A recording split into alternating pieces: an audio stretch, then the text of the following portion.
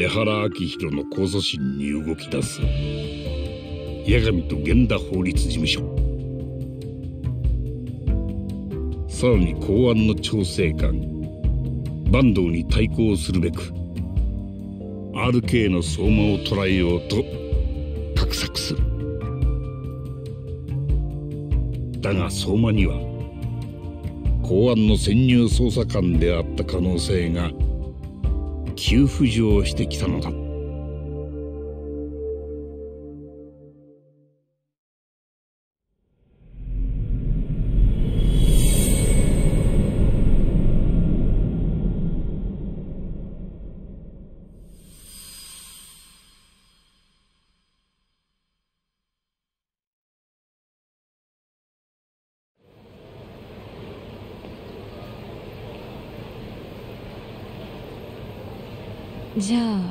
銃を撃ってきたのは警官姿の二人組？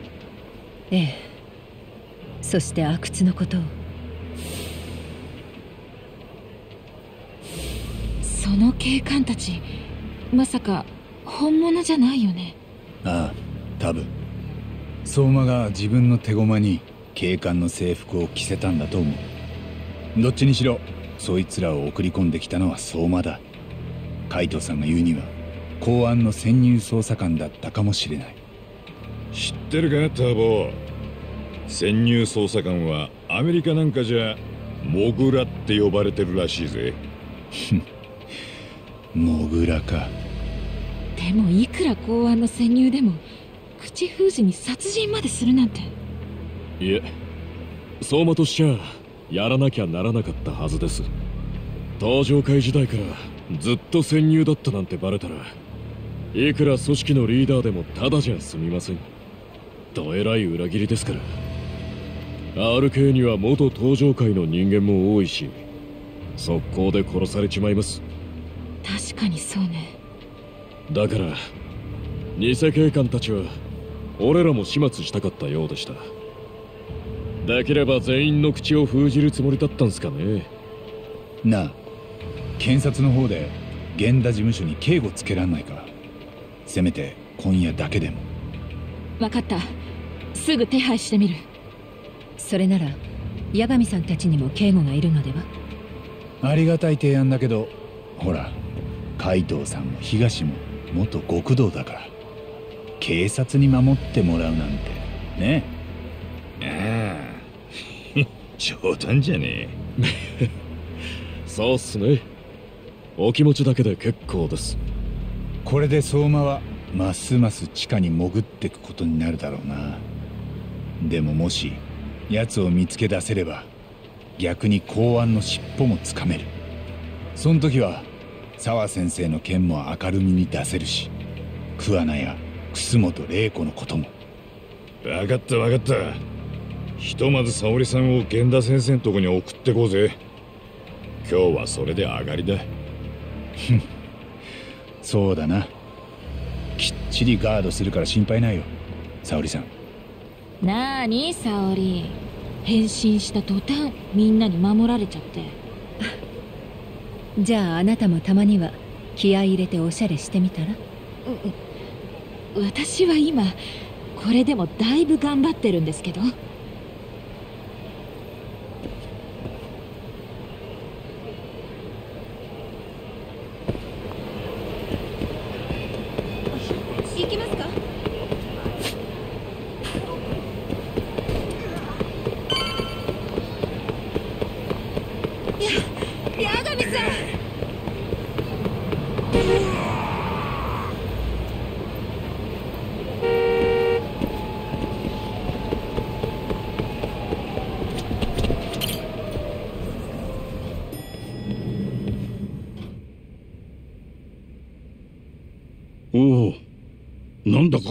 大変だったな。大丈夫か？阿久津が銃で撃ち殺されたとかほんと血の気が引きましたよ。沙織さんに何かあったらどうしようって。俺らはいいのかよ。まあみんな無事で何よりだった。でも相馬にやられました。奴を甘く見てたみたいです。どういうことだ？奴は公安の潜入だったんじゃねえかって話です。潜入？何にしても先生と星野くんは楽しい夜に水を差されて残念でしたね。ん？おいやいやそのいやさっきキャバクラに行ったのは星野君がどうしても行くって聞かねえもんだから。先生だってどんなところか覗いてみたいって言ってたでしょそうだったっけ？よく覚えてねえな。そうですか。失礼。着替えてきますので。なんていうかまあしばらくは沙織さんに白い目で見られてください。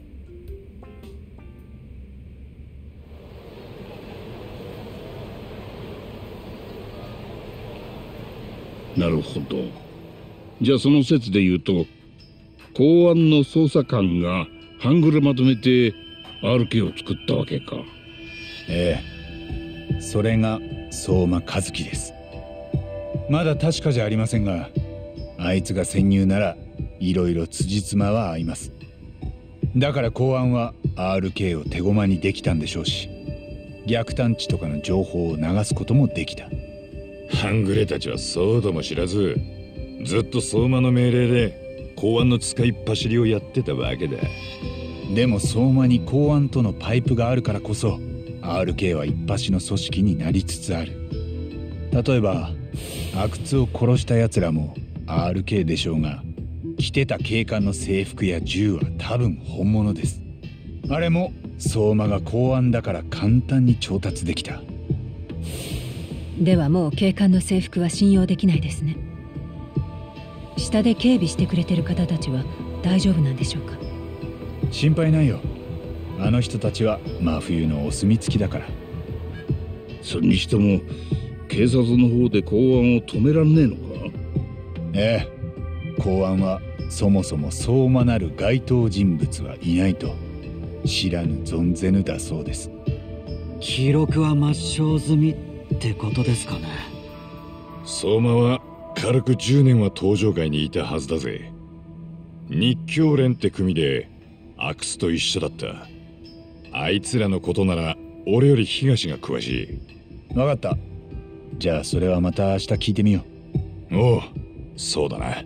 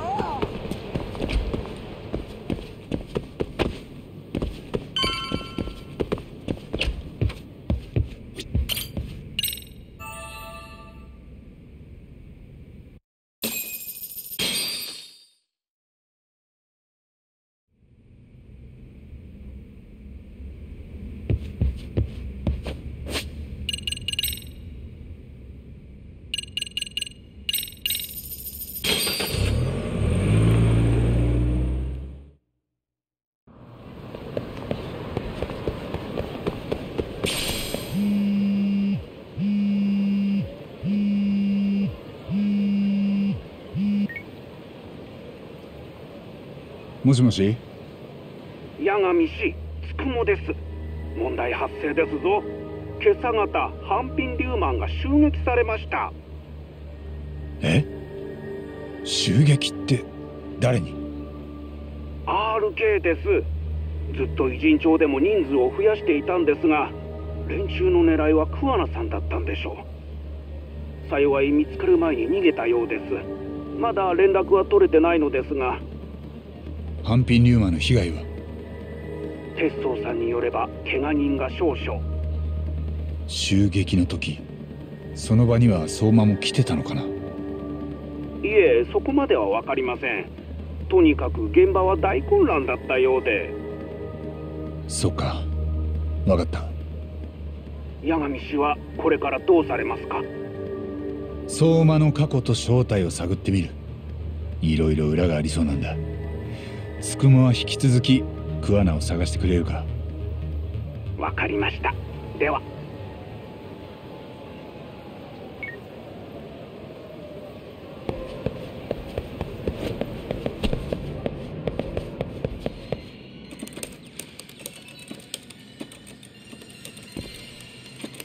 ようタボ悪いな。仕事の時間だ。誰か代われえじゃあ俺がやるよカイトおうガードをまめに入れるんだぞ。分かってるって。すげえ。お子様に大人気じゃん。そう思うだろ。ところが東は俺の上を行くんだ。マジで？東さん八神先生がお見えです。バーカ。先生なんてつけんな。そいつは呼び捨てでいいんだ。あじゃあ八神の野郎が来ました。いきなり野郎呼ばわりかよ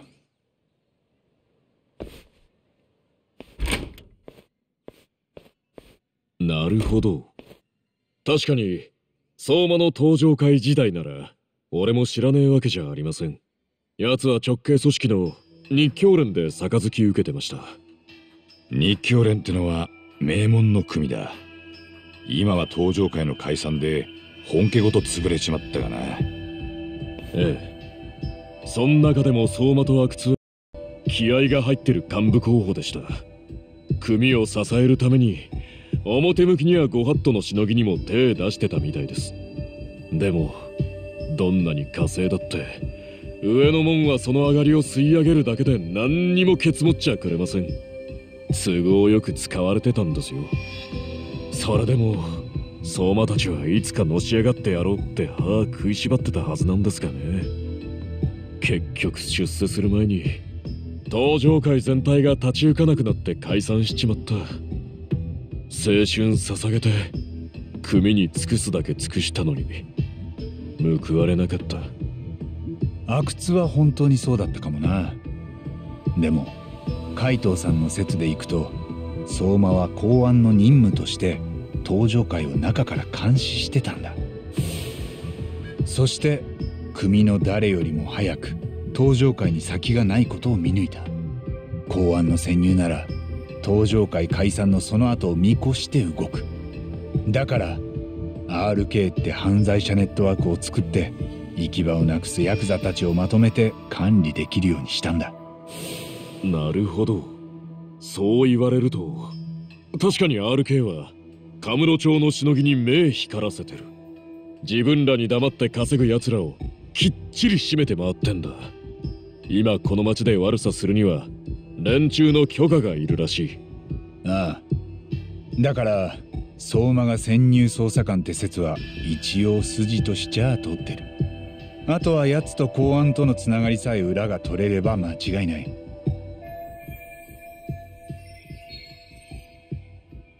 東誰か昔の相馬を知ってる人はあいつがいつどうやって登場会に入ったとかそういう話が聞ける人。ならそうだな。日教連の元総裁がいる。総裁って組長のこと？まあな。入江って人だ。前の肩書きがどうあれ今じゃチャンピオン街の飲んだくれだがよ。その入江さんから話が聞きたい。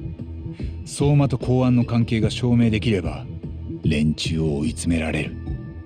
どうかなまあ会いたきゃ言ってみろよ。いつも明るいうちからアテンシって店にいる。分かった。俺も行くぜ。タボ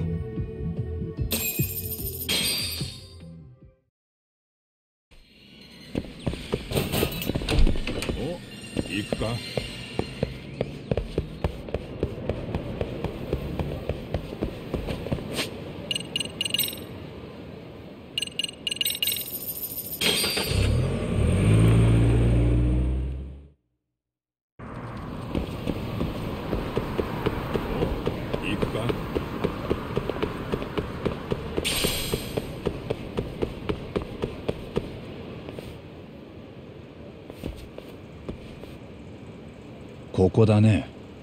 日教連の入江さんがいるって店は。毎日飲んだくれてんだろったく。いい小身分だよな。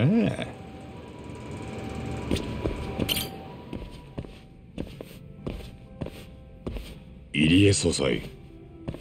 うん？あの俺は松金組にいたもんで海藤と申します。松金の？えそうかい。あの人の子分か。うちの親父をご存知で。昔ながらのヤクザらしいヤクザだったな。義理人情に熱くて金儲けが下手で。でも俺みてえになる前に死んだのは幸せだったのかもな。少しお話をさせていただいてもいいでしょうか。一緒にいるのは俺の相棒で八神。仇ですがこいつも松金の親父にゆかりのある人間です。八神です。で俺と話したいってなんだよ。相馬の話を聞かせてもらえませんか。RK の相馬和樹です。相馬ね。組にいた頃はただの若造だったんだ今じゃだいぶ幅利かせてるそうじゃねえの。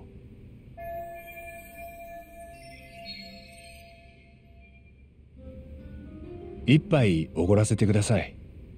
隣座らせてもらっていいですか？相馬はよ。昔うちの頭補佐がスカウトしてきたんだ。闇カジノでドブエ捨てるみたいに大金かける若造がいるってんでな。ダチとつるんで女こましちゃ金にしてたらしい。なるほど。ヤクザにするにはもってこいの野郎ですね。闇カジノってカムロ町にあったやつですか？ああうちの組で仕切ってたんだ。カジノはいくつも作っちゃ札に潰されてたな。相馬を組に入れたのは何でです？あいつの方から入りたいって言ってきたんですか？そうだったと思う。さっき言った頭補佐に懐いててよ。相馬は上には従順だが自分より下の者にはえらく睨みが利くようだった。極道で使えるのはそういう人間だ。あとは暴力に躊躇ねえとこがよかった。ちなみに組入れる前相馬のボディチェックはされたんですか？なんで？どういう意味だ？素性は調べたんですよね。生い立ちから何から。まあ一通りのチェックはしたろ。俺が細かく見たわけじゃねえ。入江さんもしかしたら相馬は公安の潜入だったかもしれません。なんだと？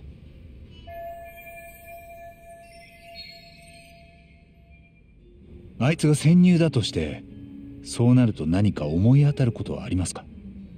怪しい動きをしてたとか外部の誰かと連絡を取り合ってたとか。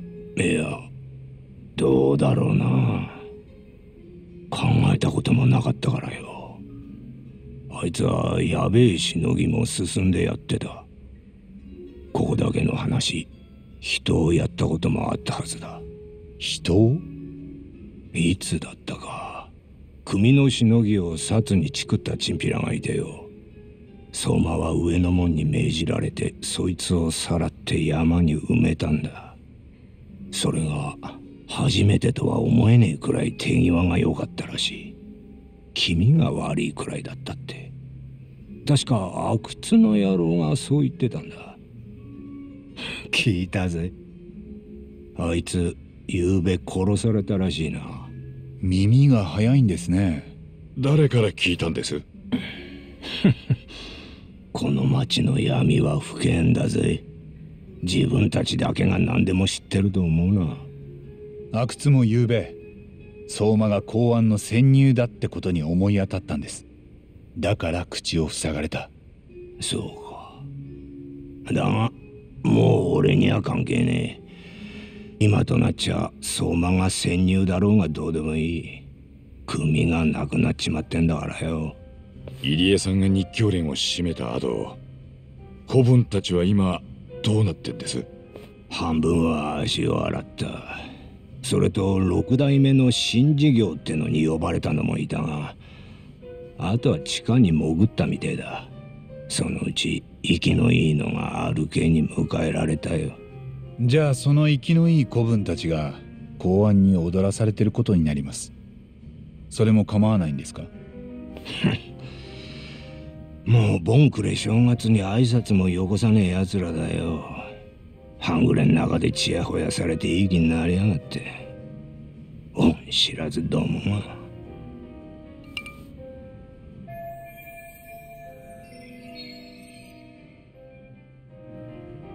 なんだか酒がまずくなってきちまったあいつらのことを思い出したら。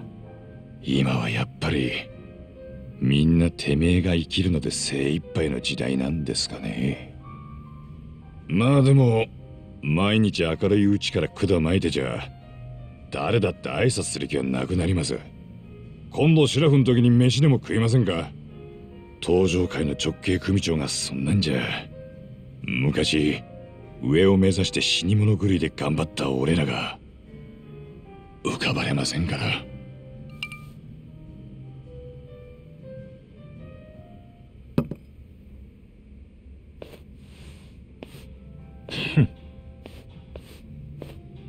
失礼しました。海藤さんのいた松金組は登場会の直系になるのが悲願だったんです。だからあの人には自分の親が目指した場所に入江さんがいたと。そういうふうに見えるんだと思います。お話ありがとうございました。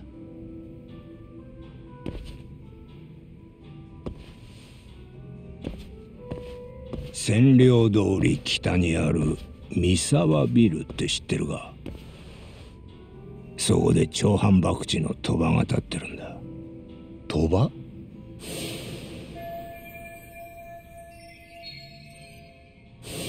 ええ。前に行ったことがあります。そこが何か？その賭場は六本木から流れてきた連中が仕切っててな。そいつらを相手に RK は上がりの分け前をよこせと言ってる。カムロ町で稼ぐなら RK の許可を取れと？なあところが六本木は上がりを払う気がねえ。それで今夜 RK が賭場をビルごと襲撃するらしい。目的は見せしめだ。派手にやるだろうな。一人や二人死人が出るかもしれねえじゃあもしかしたら相馬もそこに来るってことですか？さあなただ今夜の襲撃は元登場会組の仕切りだ。RK の精鋭部隊よひよっこどもにプロの仕事を見せるんだと。誰からそんな情報を？だから言ったろ自分たちだけが何でも知ってると思わねえことだ。勉強させていただきました。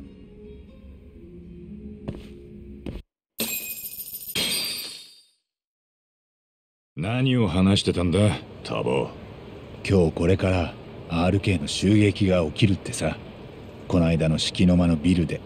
あの飛ばしきってる連中が RK に分け前を出し渋ってんだじゃあそこに行けば RK のメンバーがわんさか来るわけか。もしかしたら相馬も。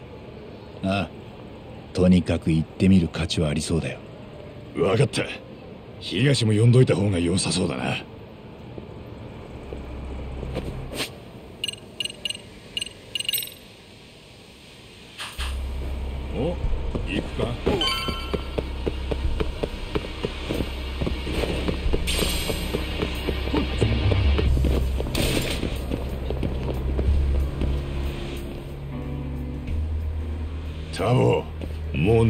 始まってるみてえだ。ああ。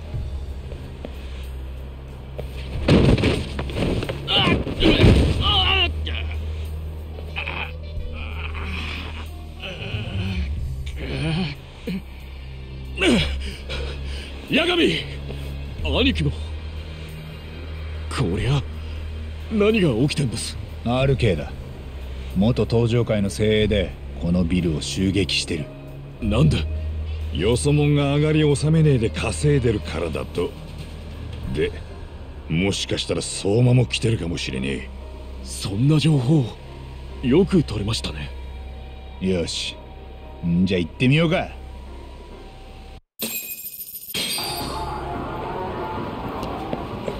し行くか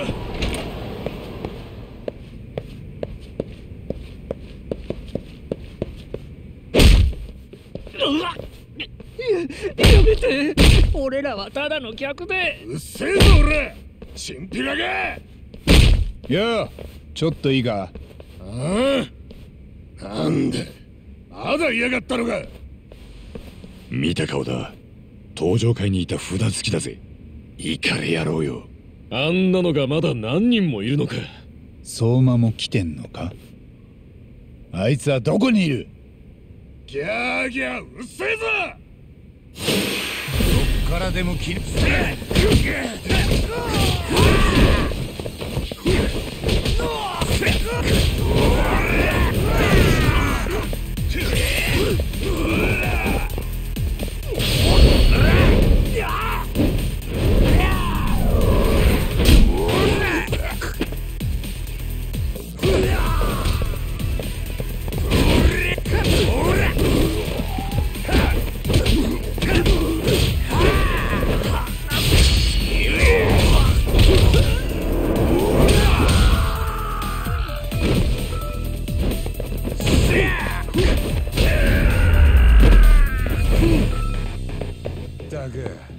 間食っちゃったよ。どこに相馬や RK の連中がいるかわからねえ。気をつけていこうぜ。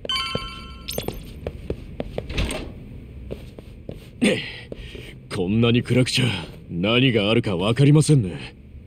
ああ。だがここで行き止まりってことはねえはずだ。とりあえず明かりつけらんねえか。ちょっと探してみようや。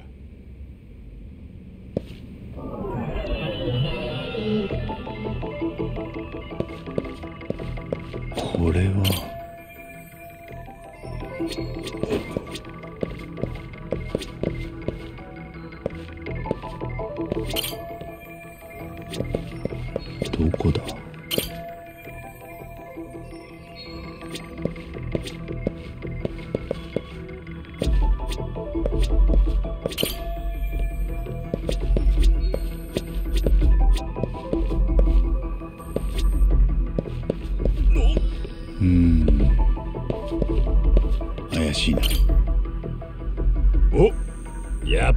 明るい。なんだ？ん？これは。これは。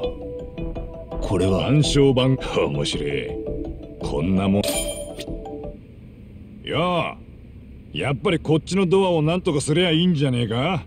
つまり暗証番号がいるってわけだ。おいどうするんだ？他の場所に手がかりがあるかもしれない。この回を調べよう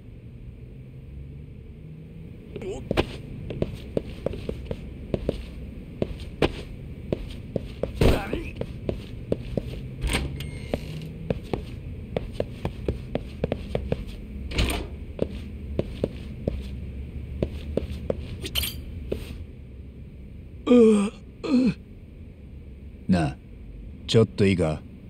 ももう勘弁してください。何もしないよ。先の扉の暗証番号が知りたいだけだ。0508いや8010だったか。ったくはっきりしてよ。まどっちも入力してみるか。0508か8010か。忘れねえようにしないとな。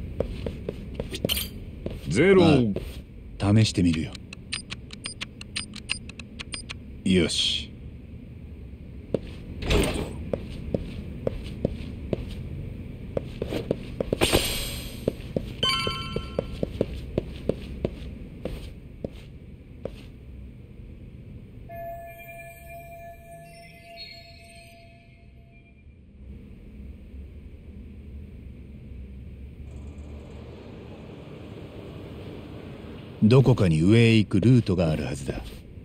ちょっと探してみるから二人は待っててくれる？おう頼んだぞタボ。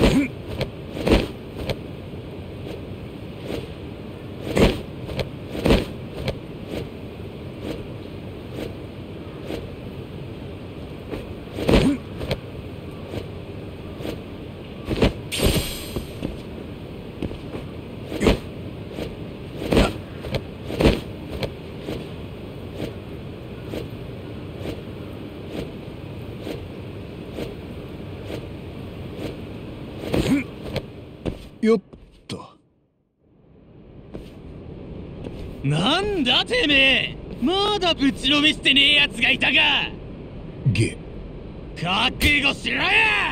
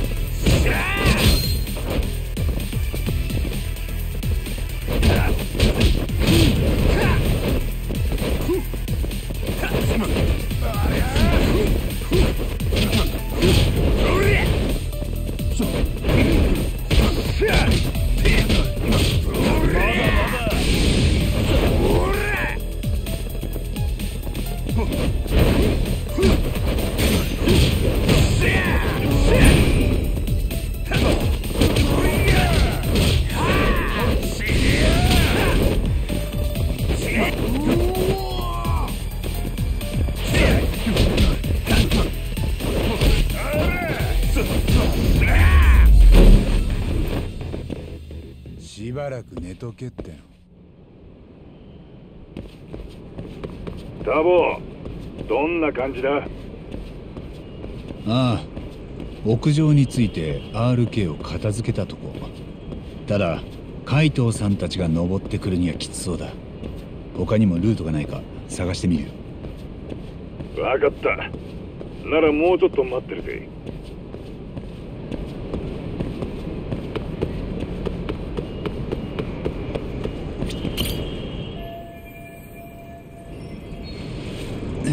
よし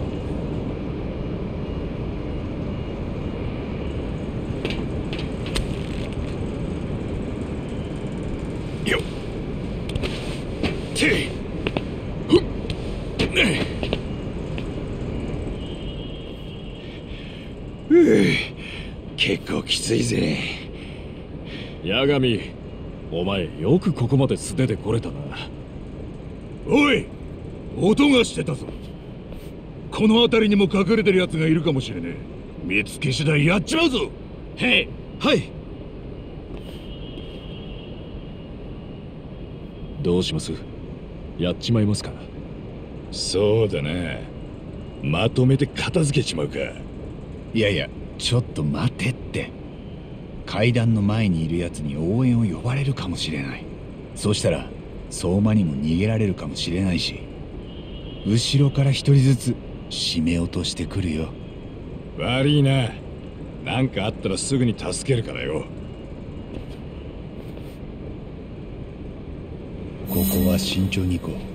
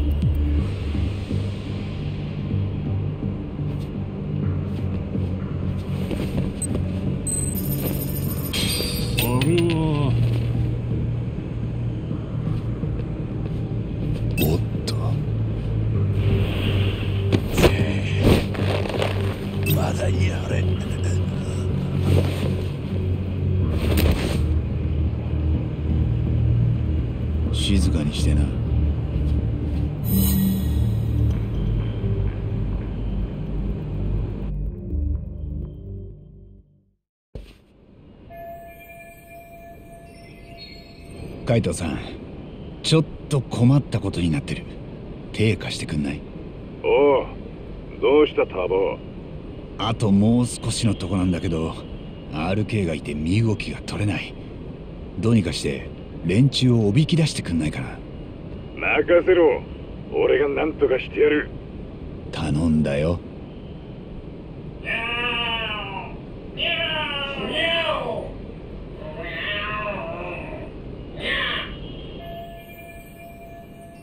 なんだ猫の喧嘩か。どこで泣いてやがる。どうだタボなんとかなっただろああ名演技だった。海藤さん助かったよ。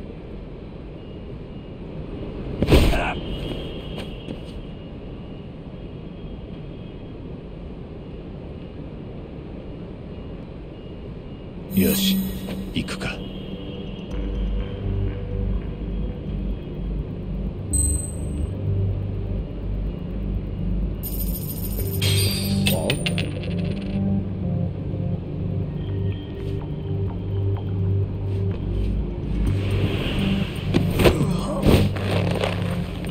おっ。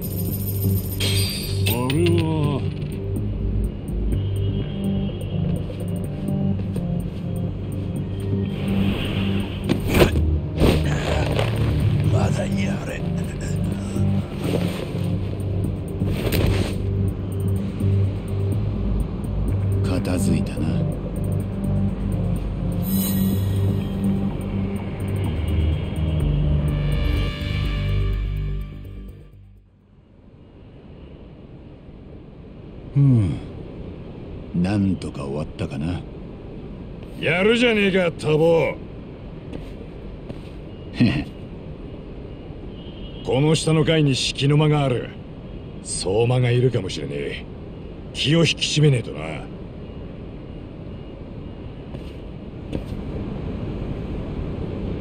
行くの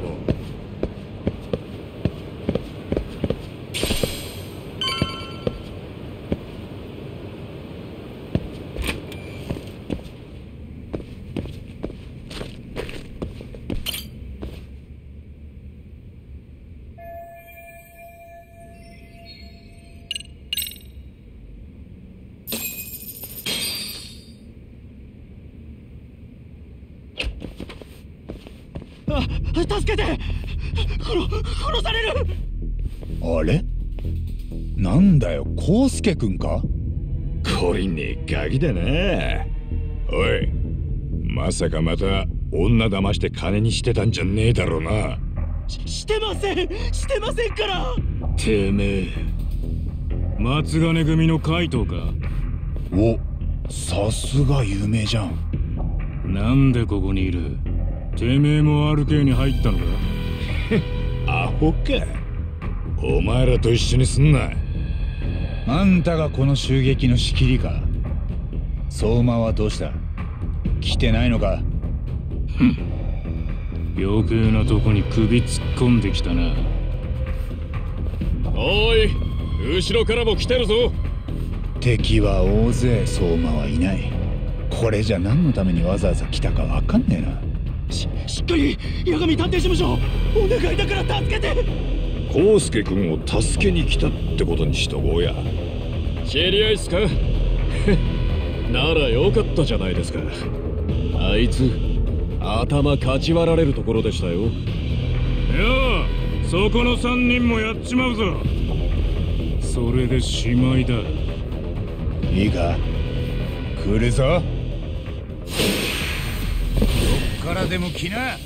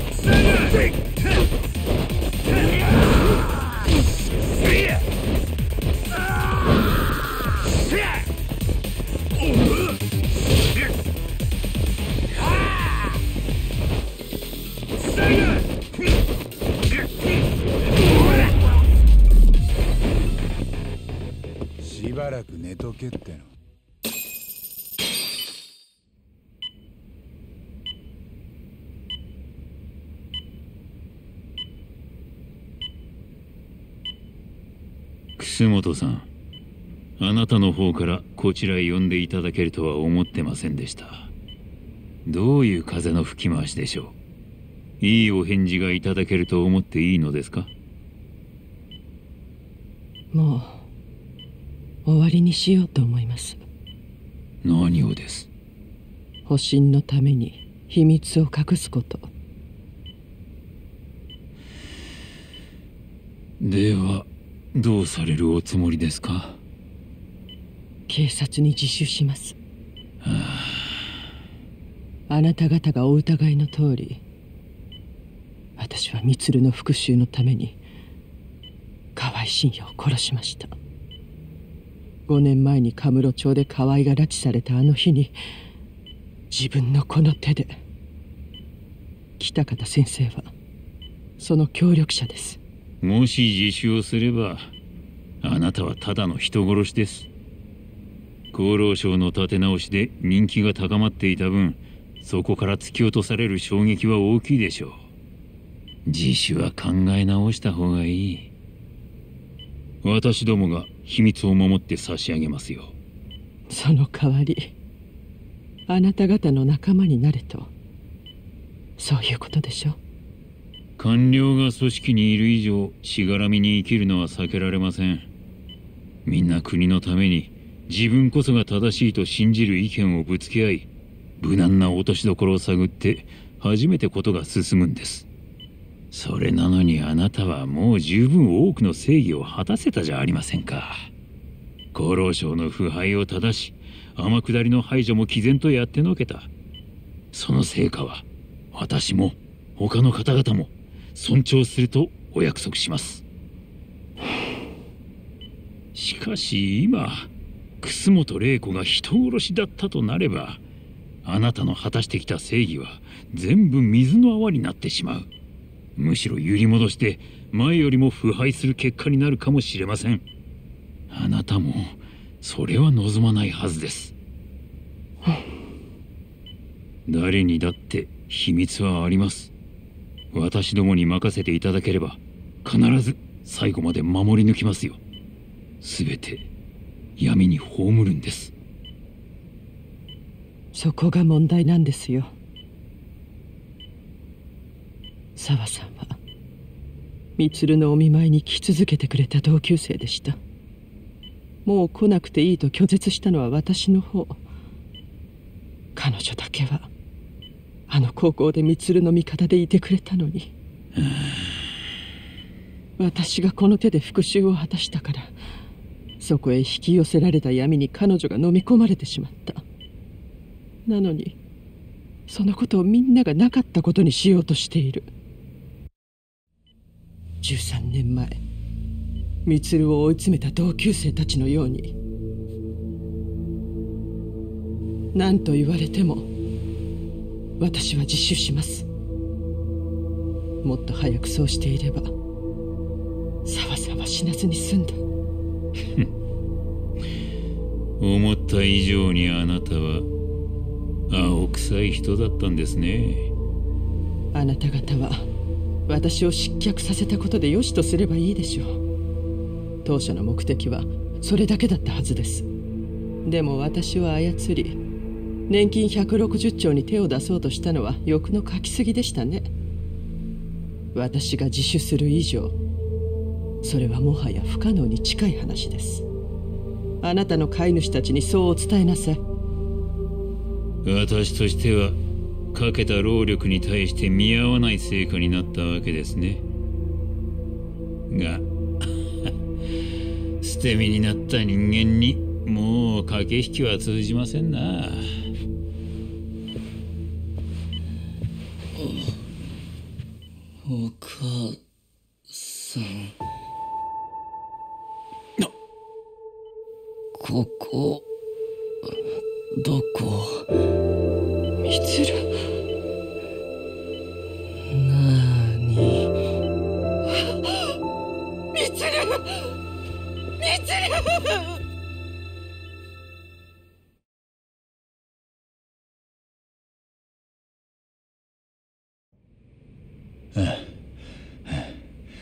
もう終わりだよな。ああ半グレにしちゃまあまあ歯応えあったぜ。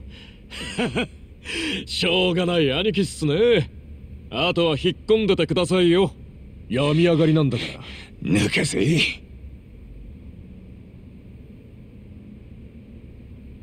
すげえ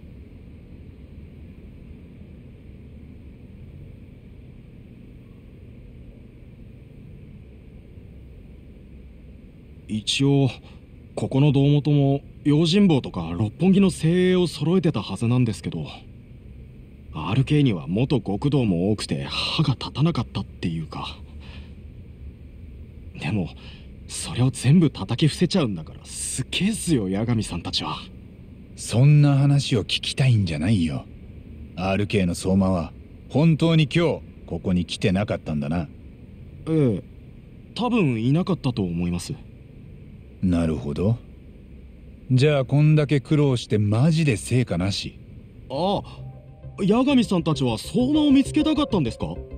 それならさっき RK の連中が言ってるのを聞きましたよ。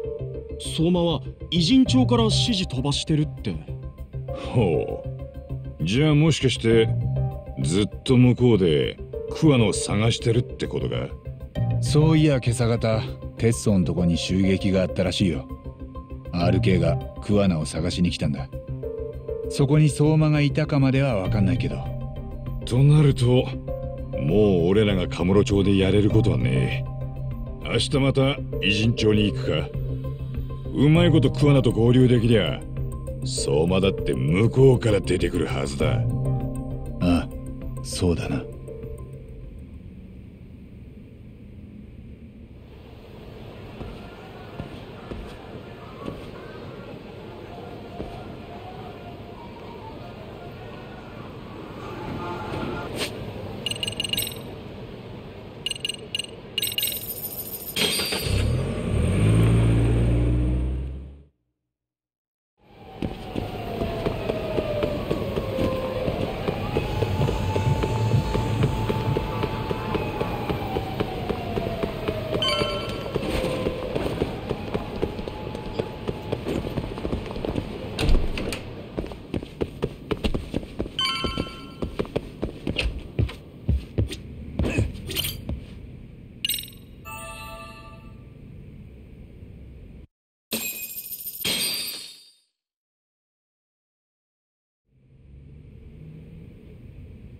よ。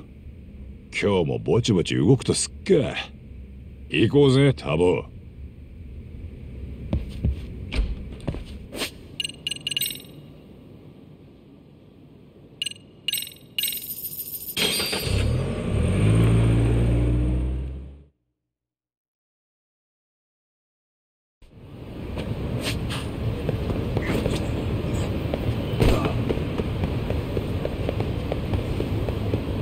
行くぞ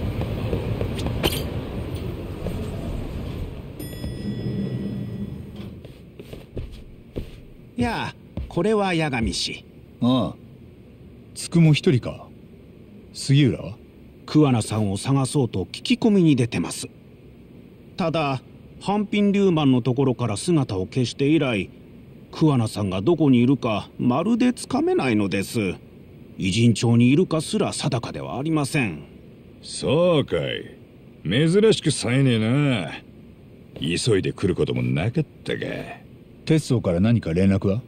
いえお二人のいない間偉人町は膠着状態です。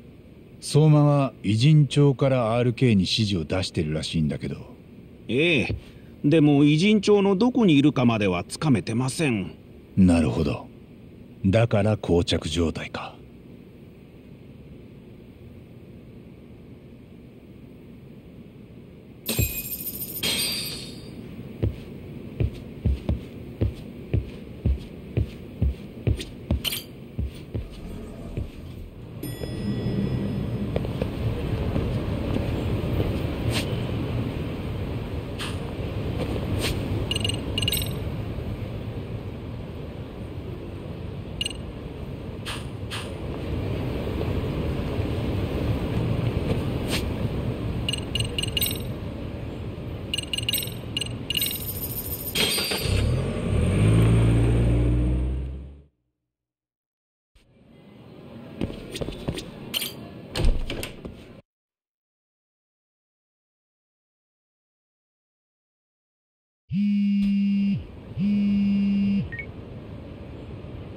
もしもし？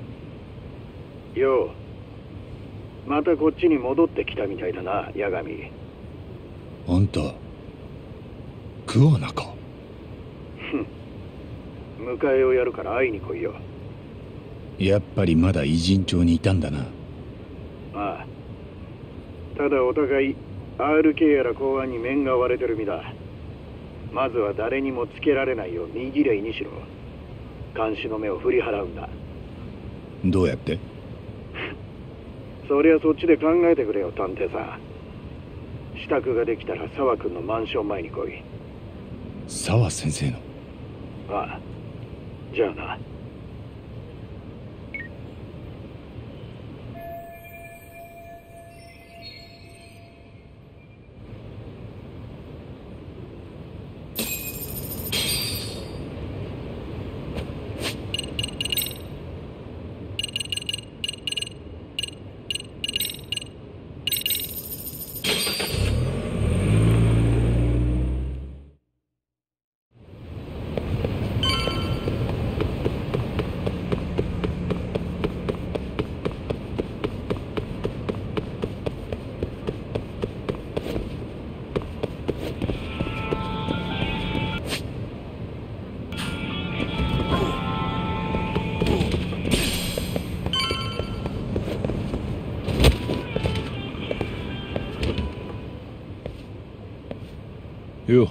兄弟。なんかやけに静かだね。RK の襲撃があったんだって。若いもんが二人骨までやられて病院送りにされたよ。いつの間にか俺らより RK のが数増やしてやがる。ここは偉人町だったのに。外へ一歩出りゃもうアウェーだ。連中の狙いはやっぱり桑名だった。間違いねえだろ桑名はうまく脱出したみてえだが連絡が取れなくなってる。あいつからはさっき連絡があったよ。これから会いに行く。本当か？ああでもこのまま行ったら俺が桑名のところに RK を案内することになる。まずは一度敵の目を振り切らないとね。なるほど。だからここに来たのか。てっきり襲撃の被害を心配しに来てくれたんだと思ってたそれもあるけどさ。手貸してくれ。ここは悪名高いギャングの縄張りだろ。秘密の抜け道とかない。あそこを抜ければ一旦 RK の目を出し抜ける。と思ったんだけど。そんな都合のいい抜け道なんて。ないわけないよね。えそうだな。あるぜ悪名高いギャングの縄張りだからな。分かったよ。ついてこい。助かる。おいこっちだ。兄弟。非常時の抜け道がある。多分桑名も襲撃された時そこを使って逃げたんだ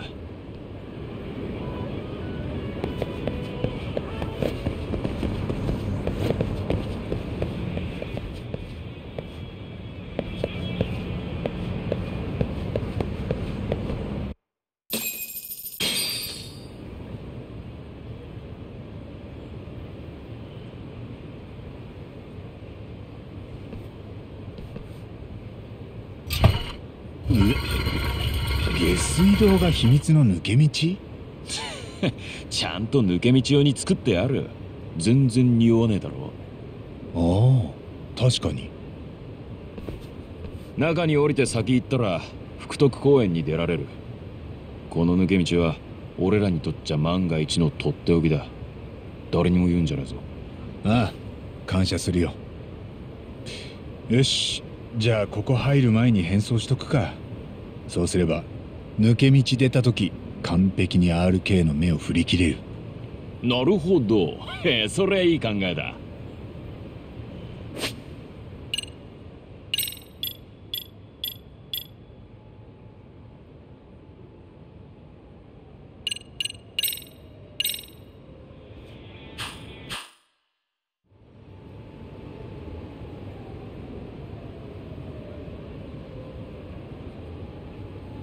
へえいいじゃか。さすがに慣れたもんだ。どうも。変装にはちょっと自信があるんでね。よし準備はいいな。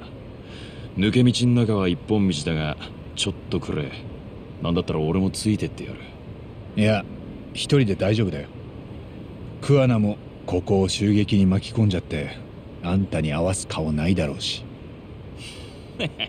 もしそうなら全然気にしてねえって伝えといてくれ俺がムカついてるのは RK の連中だけだ。絶対偉人町から追い出してやる。分かった。じゃあありがとな。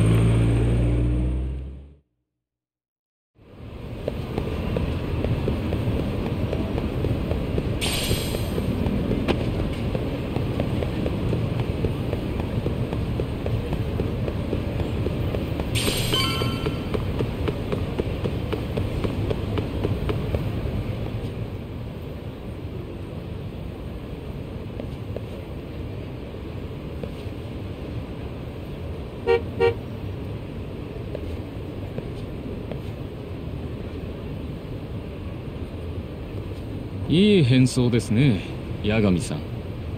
赤池くんか。ほんと桑名の言うことは何でも聞くんだな。乗ってください。先生のところにお連れします。あんただけか？他の同級生たちは？俺一人です。今日は人手がいらないみたいなんで。へえ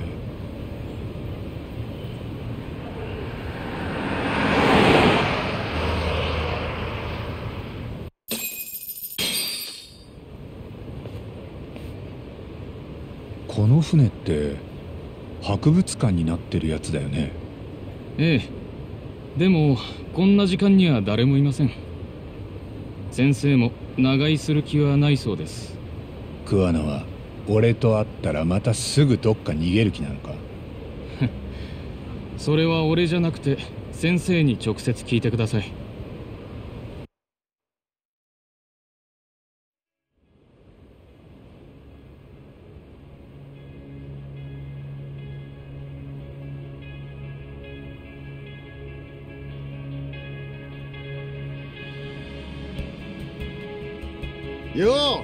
悪かったな。わざわざ来てもらって。こっちはお尋ね者なもんだよ。その割には目につくとこにいるもんだな。ここは追っ手に数で囲まれても逃げ道がいっぱいある。いざって時周りに迷惑かけずに済むしなあんたが人の迷惑考えてるとは思わなかった。赤池少し八神さんと二人で話してもいいか？どうぞ八神さん。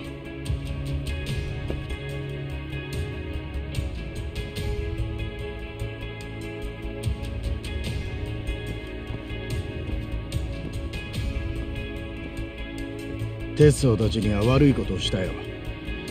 俺を探して RK が襲撃してきたんだ。奴ら半品リューマンをヘとも思っちゃいねえらしい。結局のところ相手は公安だ。日本中どこ行ったって逃げ切れるもんじゃない。それと RK の相馬は多分公安の潜入捜査官だ。登場会に入る前からずっとな。潜入捜査官。ああ。でも逆にその相馬を捕まえれば奥にいる黒幕も引きずり出せるかもしれない。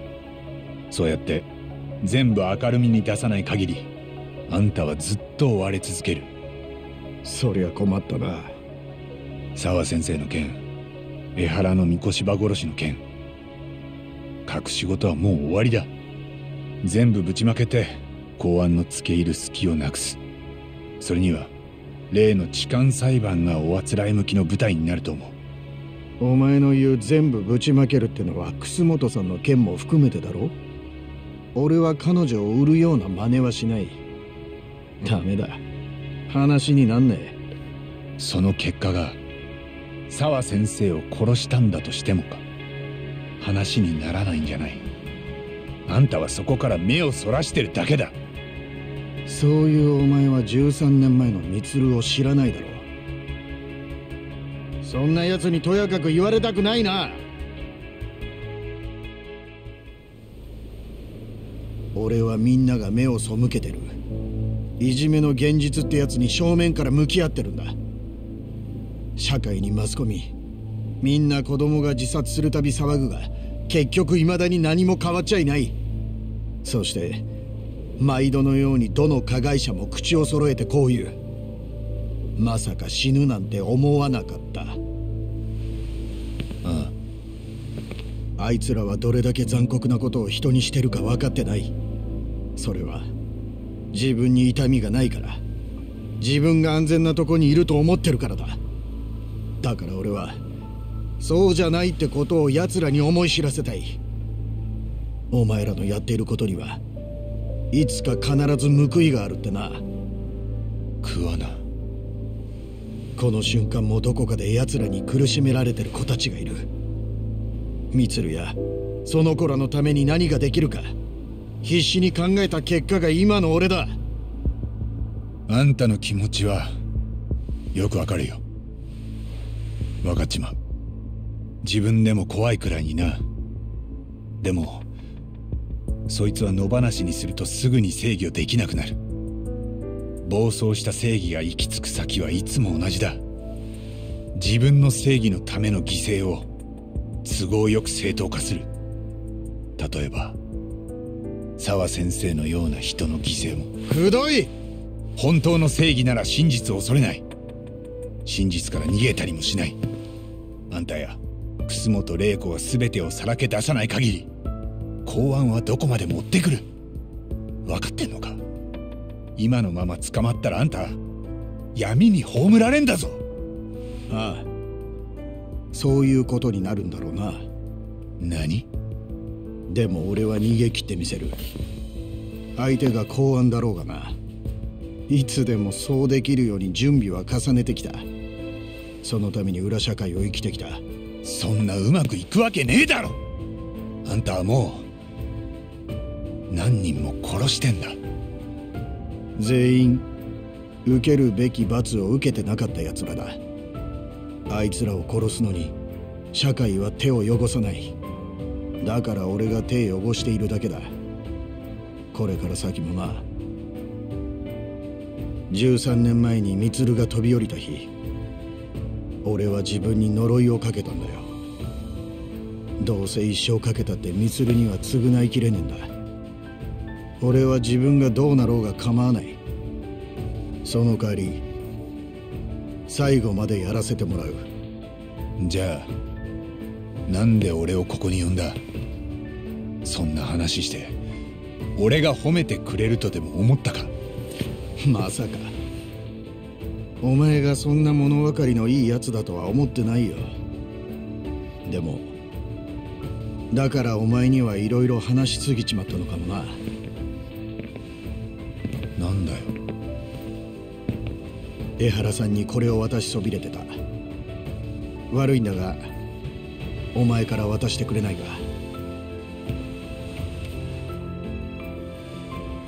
頼めるのはお前だけなんだ。江原？敏郎？これには江原さんへのメッセージが込められてる。あの人の復讐を最後まで一緒に仕上げるつもりだったんだがもうそうも言ってられないだし。俺は今日限りこの顔も名前も変えて消える俺があんたをこのまま行かせると思うか？別れに未練は禁物だぜ。ダメだ。引き下がれないんだよこっちも。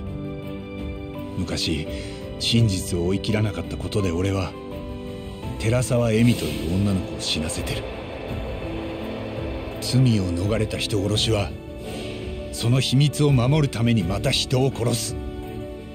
あんたや楠本玲子もいつかそうなるかもしれない。やっぱりな。お前と会ったらこんな風になるんじゃないかと思ってた。逃げるなら起きはないよ。あんたが何人殺してるとしても俺はその証拠を持ってないんだ。捕まえたところで監禁でもしとかない限りあんたはまた逃げるだろう。じゃあどうすんだ？あんたが自分の意志でここに残るまで俺は説得し続ける。あんたも楠本玲子もまだ救うことができると信じているから。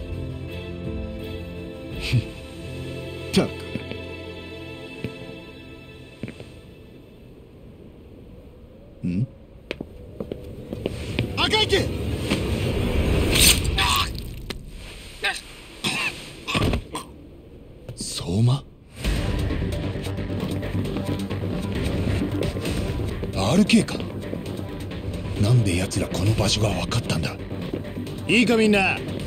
北方先生は殺すなよ。その代わり八神の方は逃がさなきゃどっちでもいい。お前は監視を振り切ってここへ来た。俺もそう。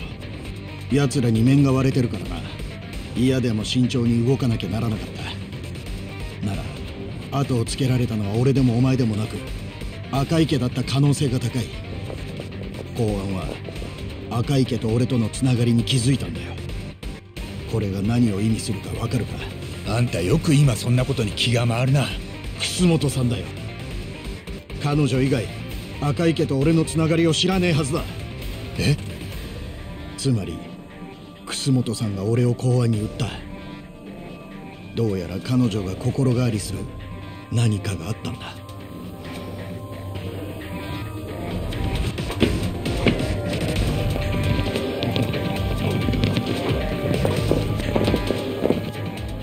いえばあんたここには逃げ道がいくらでもあるって言ってなかったか？そりゃ俺一人で逃げる時の話だ。じゃあなんで行かね？えお前俺を説得してくれるんだろ？そん時はどんな理屈こねてくんのか興味なんでね。了解。よく考えとく。いいよみんな。ほらもう行けっておうこいつら二人ともなんか技持ってるぞ。逃がさねえように足から行け。今までの雑魚とはちょっと違う感じだな。ああ。でもこっちのやることはいつもと一緒だ。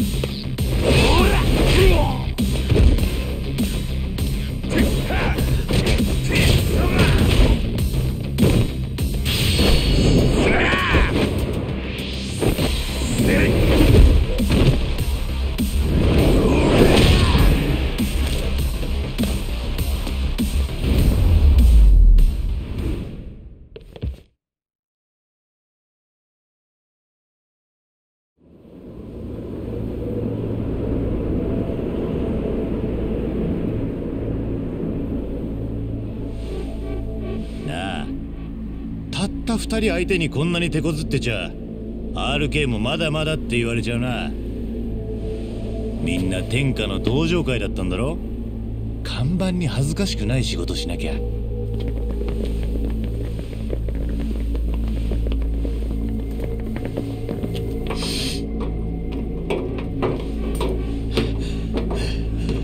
ここらが潮時だな。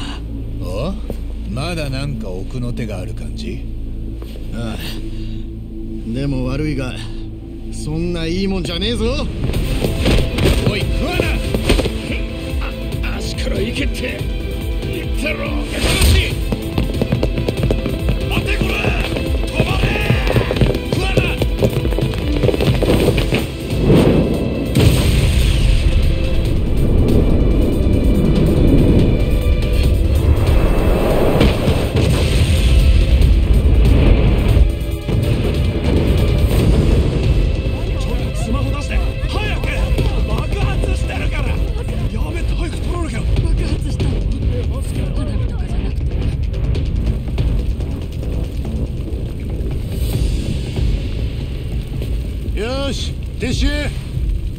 くれよ。